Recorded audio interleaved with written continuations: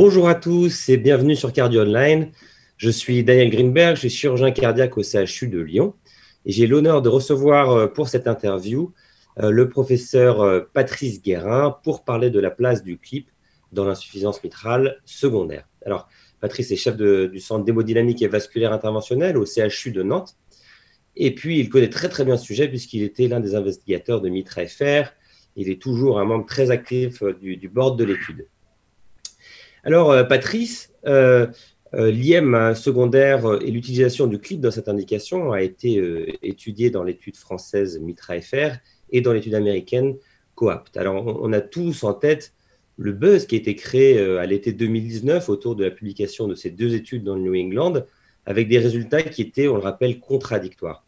Alors aujourd'hui, l'eau a coulé sous les ponts, l'encre sur le Medline, j'allais dire, la pression est retombée, les résultats, ils ont été disséqués, analysés dans tous les sens. Je sais que c'est une question difficile, mais est-ce qu'avec un peu de recul, vous pouvez nous donner les conclusions qui sont les vôtres 18 mois après la publication de ces données?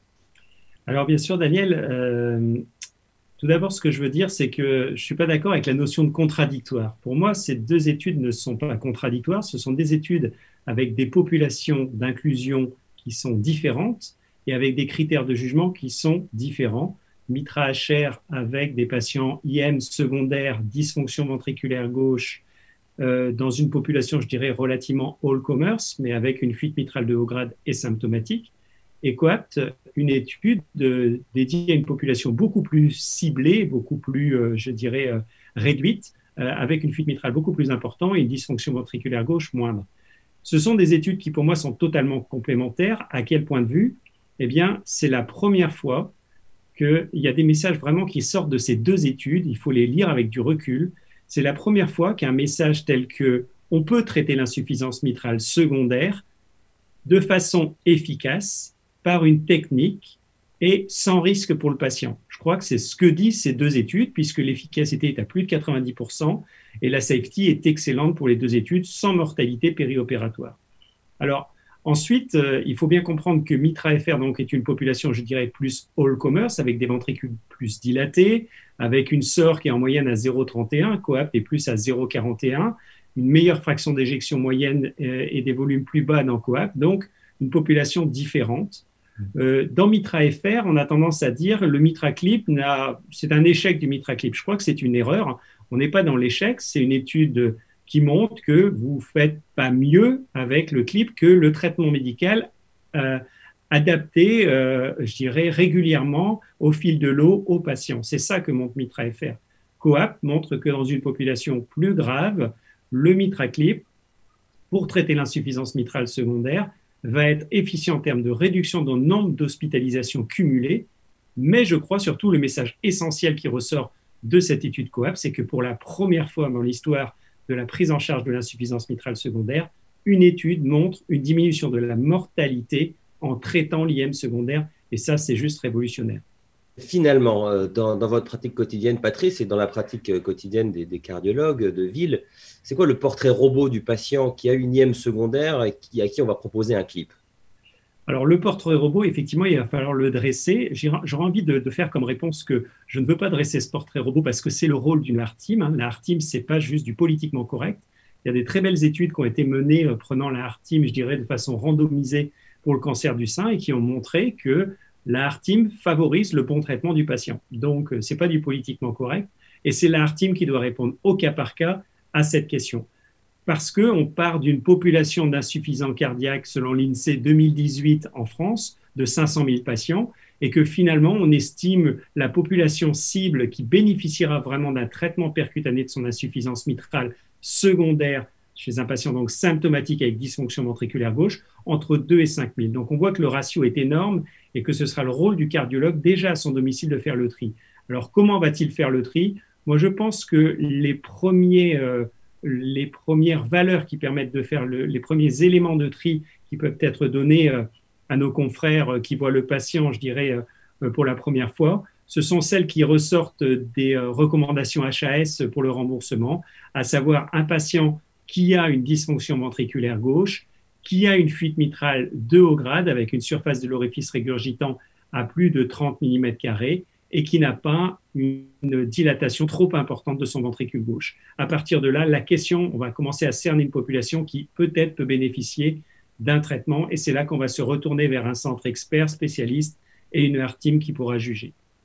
Ensuite, euh, il existe les toutes récentes recommandations de l'ACCAHA euh, qui viennent de sortir, donc forcément on va tous euh, se fier à elles parce qu'elles sont toutes récentes et qui retrouvent des critères, je dirais, à peu près similaires. Une dysfonction ventriculaire gauche pas encore dramatique, une fuite avec une SOR à plus de 30 et un ventricule gauche pas trop dilaté, et puis pas d'hypertension artérielle pulmonaire. Probablement que dans, cette situation-là, on va euh, améliorer le patient en termes de réhospitalisation et donc de risque de décès. Alors, euh, avant le clip, il y avait la chirurgie.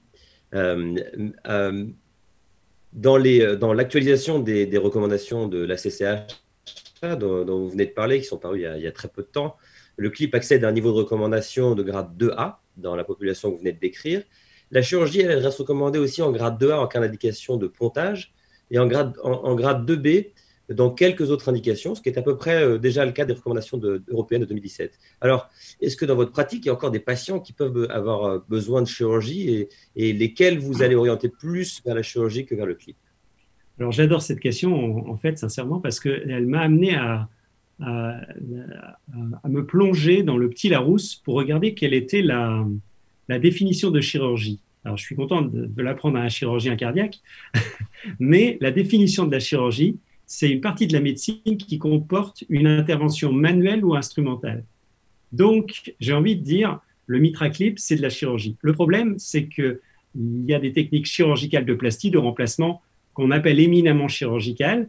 Et puis, comme ce sont un peu les cardiologues interventionnels qui ont développé la technique euh, percutanée, alors qu'à l'origine, c'est une idée chirurgicale, eh bien, on considère que ce n'est pas de la chirurgie, mais c'est de la chirurgie. Notre vrai problème vient du fait que celui qui fait l'acte semble être différent. Et je pense qu'il va falloir se battre, évoluer tous dans le sens d'un partage de cette activité et d'un travail en commun. Et c'est certainement pas un jeune chirurgien comme vous qui dira le contraire. Donc, euh, il reste des patients qui ont besoin donc euh, de la chirurgie. On les retrouve effectivement dans les recos ACCHA avec un niveau 2A. Euh, et typiquement, c'est le patient qui a un syntax score élevé et qui sort donc de cette zone de feu vert où finalement la dilatation coronaire fait aussi bien que la chirurgie, puisqu'on se retrouve avec des patients pour lesquels si on peut faire la revascularisation au même niveau de qualité et de durabilité que la chirurgie, étant donné qu'on a un moyen pour traiter de façon percutanée la valve, eh bien, je pense que c'est tout à fait euh, euh, possible de le faire par cathétérisme interventionnel. Par contre, clairement, si le patient est diabétique avec un syntax score à plus de 22 ou non diabétique avec un syntax score vraiment très élevé, très élevé, eh bien, à ce moment-là, clairement, le patient doit bénéficier de pontage orthocoronaire et d'un traitement chirurgical conventionnel, c'est-à-dire plastie ou remplacement de sa valvulopathie mitrale. Et je pense que ça, c'est vraiment la place clé euh, de la chirurgie. Alors, il y a dans ces nouvelles recommandations, effectivement, la, question des patients avec une fraction d'éjection qui n'est pas altérée. Mais je pense que d'abord, cette situation est relativement rare. Et ensuite, euh, c'est du niveau 2B. Donc, je pense que ça se discutera au cas par cas dans l'article. Bon, j'adorais votre réponse. Merci, merci beaucoup. Euh, juste pour conclure, puisque vous êtes, euh, vous êtes dans, dans le, les petits papiers de Mitra FR, j'allais dire, quelle est la suite pour Mitra FR et quels, quels sont les autres papiers qu'il va falloir regarder, les autres études qu'il va falloir regarder euh, pour, qui permettront de préciser les indications du clip dans les années à venir? Alors, on attend tous euh, avec beaucoup d'envie une méta-analyse entre COAPT et Mitra FR, même si je me méfie un peu parce que les populations de départ étant vraiment différentes, euh, il n'est pas certain euh, qu'on ne soit pas, entre guillemets, déçu des, je vais y revenir de façon très, très brève mais d'une telle méta-analyse. On attend clairement aussi beaucoup de l'étude européenne RICHEP, qui inclut les patients avec dysfonction ventriculaire gauche, patients symptomatiques avec fuite mitrale de haut grade, qui nous donnera une troisième étude sur le sujet. Et puis, on attend aussi du registre national mitragistère, hein, qui cumule les, traitements percutanés de la mitrale, de la tricuspide notamment, mais qui nous permettra de voir ce qui se passe en France et le devenir des patients. Je pense que c'est toutes ces, euh, données-là qui nous permettront d'évoluer pour la suite. Parce que, clairement, moi j'ai envie de, quand j'entends ces histoires sur l'insuffisance mitrale secondaire qui sont passionnantes, elle me rappelle une époque de ma carrière de cardiologue interventionnel sur le foramen ovale perméable. On a toujours pensé avec mes confrères neurologues ici qu'une certaine population devait bénéficier d'une occlusion. Mais les premières études étaient faites all commerce et elles ont montré que fermer tous les PFO des patients qui avaient fait un AVC ne servait à rien. Et puis petit à petit, on a diminué la population, on est allé sur une population extrêmement sélective qu'on connaît aujourd'hui et on a sorti des études positives, respect, close, etc.